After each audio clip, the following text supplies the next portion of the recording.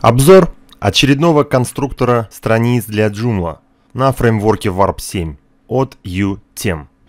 Что это за конструктор, чем он отличается, чем он интересен, подробнее в этом видео. Меня зовут Федор Васильев и поехали! Для тех, кто не знает, контора UTem достаточно давно существует, э, популярный компонент от нее Zoo, WidgetKit и всевозможные шаблоны. И где-то с 2016 года у них появился новый фреймворк Warp 7. Это, кто не знает, для новичков информация. Это ядро, основа, на которой они выкатывают новые шаблоны. И эти шаблоны между собой отличаются только дизайном. По сути, начинка у них одна. И любителям конструкторов страниц на Joomla те, кто знаком с Gridbox, SP Patch Builder, Quix и другие конструкторы, возможно, вам это будет интересно. В 2016 году я знакомился с этим конструктором, когда он только, в принципе, появился, он весь был на английском языке. Я долго к нему присматривался, а потом как-то я потерял к нему интерес. И сейчас, взглянув на одни из последних шаблонов от UTM, я посмотрел, что уже много переведено на русский язык, много нового, и этот конструктор достоин внимания. Почему я записываю это видео? Э, есть э, небольшая так сказать, история, если это можно так сказать. Во-первых, у меня сейчас есть заказ, клиент хочет сайт, а, сайт-визитку на Joomla, и он сам выбрал один из шаблонов компании UTM, ему понравилось. Клиент выбрал вот именно вот этот вот шаблон. Я его еще раз поизучал, демо этот шаблон, посмотрел на него, мне стало интересно, я залез в русскоязычный YouTube. Я не нашел ни одного урока на русском языке на шаблоны UTM на фреймворке Warp 7. Может быть, плохо искал, но я не увидел этого. И мне стало это интересно. Я буду, скорее всего, записывать, записывать серию уроков о, о данном фреймворке. Так как здесь конструктор, то есть встроенный шаблон конструктор. И, естественно, можно записать серию уроков. Именно сейчас я пробегусь в общем по настройкам данного шаблона. Это просто обзор. А уже в следующих уроках я более подробно буду показывать, что здесь есть. А, и вообще я хочу а, записывать уроки именно поэтапно. То есть я сейчас начинаю а, выполнять заказ заказчику, делать сайт на этом шаблоне. И я сразу же буду пилить видео. То есть сделаю первый экран и сразу покажу, как, где что располагается, как что делается. Я думаю, будет это интересно посмотреть. И, соответственно, это будет серия уроков. Думаю, штук 10-15, возможно, будет уроков. И давайте взглянем на этот шаблон изнутри. Я установил демо-данные шаблона. В админке а, демо-сайта мы переходим в шаблоны. Мы переходим в наш шаблон UTM. И как здесь устроено, кто еще не видел. Здесь, видите, как будто бы нет настроек. На самом деле вот есть кастомайзер. Мы сюда переходим. И по сути вот он весь шаблон. Как бы почти визуальный редактор, можно так сказать, да. Но сразу хочу сказать, те, кто привык к гридбоксу или SP Page Builder, возможно, вам покажется здесь сложно, неудобно. Но я думаю, это дело привычки. То есть я сам не особо владею хорошо данным конструктором, так как просто мало им занимался. И мне на первый взгляд показалось э, достаточно неудобно э, здесь все. Ну и на первый взгляд, возможно, но мне кажется, он не такой гибкий, как, например, Gridbox. Но я вам скажу самое главное преимущество данного фреймворка и всех этих шаблонов. Они очень скорострельные, то есть они очень быстрые, очень-очень быстрые. Несмотря на то, что это конструктор, а скорость показывается у сайтов очень хорошая. И давайте пробежимся, что здесь есть. Слева мы можем видеть а, настройки, их можно вот так вот закрыть, и мы попадаем обратно в шаблон. Здесь есть такой ползуночек, за который мы можем вот так вот тянуть и смотреть адаптивность. То есть действительно а, здесь шаблоны адаптивные. Но если так делать неудобно, у нас внизу есть такие иконочки переключения, чтобы сразу можно было смотреть адаптивный дизайн. Также прокручивать. Здесь кастомайзер прямо в шаблоне, то есть построитель колонок, а это уже конструктор. То есть можно создавать колонки, можно на разных устройствах а, делать отображение по-разному. То есть в несколько колонок, в одну колонку. То есть здесь это все есть. И подробно будет в следующих уроках. Например, если перейдем в макет, перейдем в сайт. Есть возможность загрузить логотип, задать ширину высоту, возможность загрузить мобильного логотипа, уменьшенная копия. Скажем, вот здесь вы видите логотип. Если посмотрим на мобилке, здесь логотип уменьшенной копии.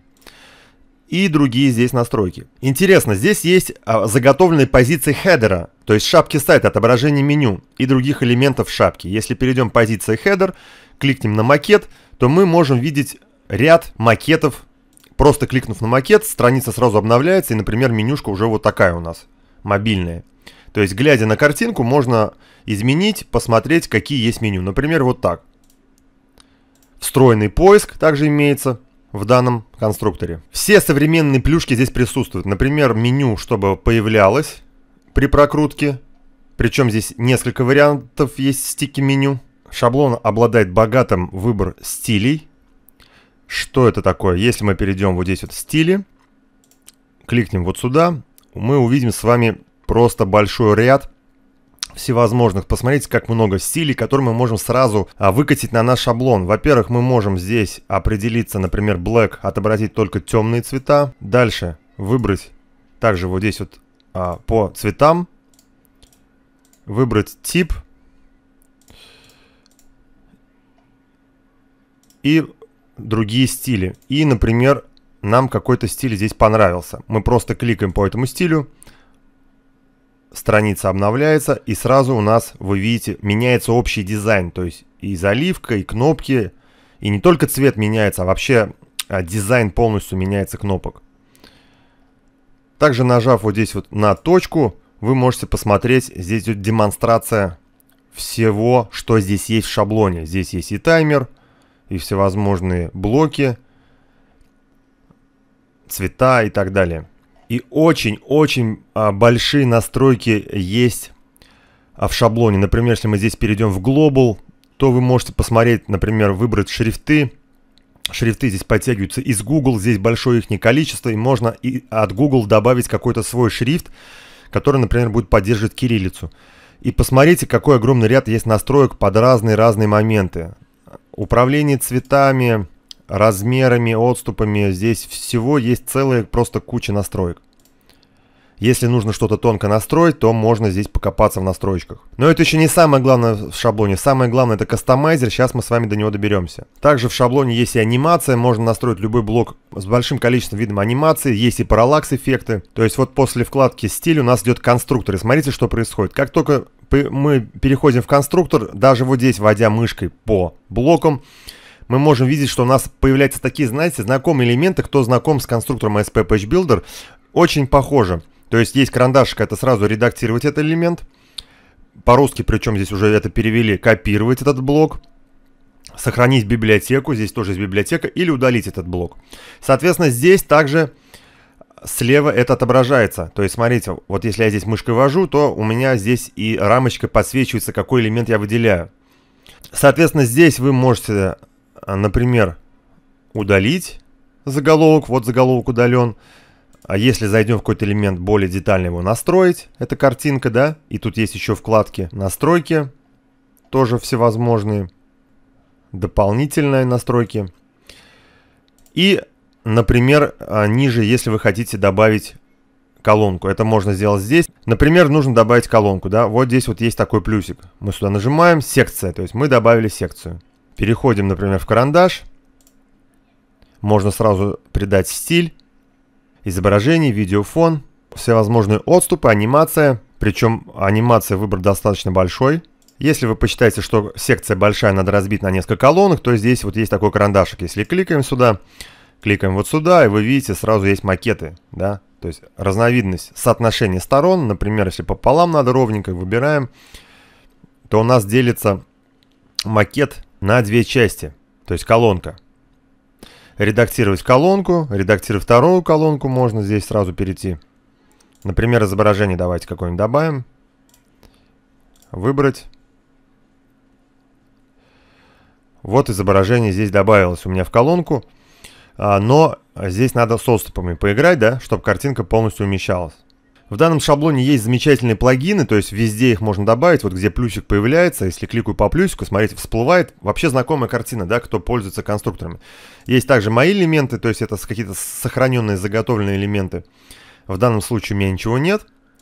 И здесь, смотрите, есть и кнопка, например, кнопку я добавляю, да, здесь вот ее практически не видно, вот здесь она маленькая такая, давайте а, попробуем добавить а, вот здесь. Если я кликаю по плюсу, например, кнопка. Вот появилась вот кнопка, да. Сразу можно ее редактировать. То есть вот настройки кнопки. То есть, например, более маленькая кнопка, большая кнопка и много-много настроек. Соответственно, здесь, если вы посмотрите, достаточно много всяких элементов, которые вы можете использовать на главной странице, вообще на, на любой созданной вами странице. Вот он, по сути, весь наш огромный конструктор. То есть здесь много чего есть, и он развивается. Дальше меню, модули и на, настройки. Можно загрузить сразу свою фавиконку, маленькая иконочка. Что приятно, здесь есть баннер куки, то есть политика в отношении куки, информация, то есть внизу всплывающее окно. Здесь она задается легко, просто задаете правил куки и внизу появится такой бар с информацией в отношении куки. Пользовательский код, соответственно, конечно, можно вставить. Дополнительно, если перейдем, есть отложенная загрузка изображений, что хорошо для скорости сайта. Есть а, новые технологии, использованы новое поколение изображений WebP, то есть здесь уже в шаблоне это сразу у нас есть. Внешние услуги можно сразу подключить Google Maps, Google карты, подключить код Google Аналитики. И, естественно, такого рода шаблоны тесно интегрируются с заграничным сервисом рассылки MailChimp. Здесь тоже это есть. Также хочется сказать, что с шаблоном вместе устанавливается модуль Customizer. Давайте его посмотрим. Переходим в расширение модуля. Создать. Вот он здесь, видите, Builder. Сюда кликаем, название даем, позицию выбираем, опубликовано, кликаем Open Builder и попадаем а, опять же в наш шаблон, ту позицию, где мы его выбрали, например, это header может быть, и а, в данном модуле мы можем вывести любой этот плагин, который присущ данному конструктору, который мы с вами смотрели. Вот такой вот небольшой обзор я сделал для начала. Если эта тема вам интересна, отпишитесь в комментариях, что вы об этом думаете. Интересно ли вам будет, если я запишу э, серию уроков более детально по настройке, именно прям как создать сайт с нуля на данном шаблоне. Мне будет это интересно посмотреть, почитать, что вы думаете об этом. На этом я видео заканчиваю и увидимся в следующих видео.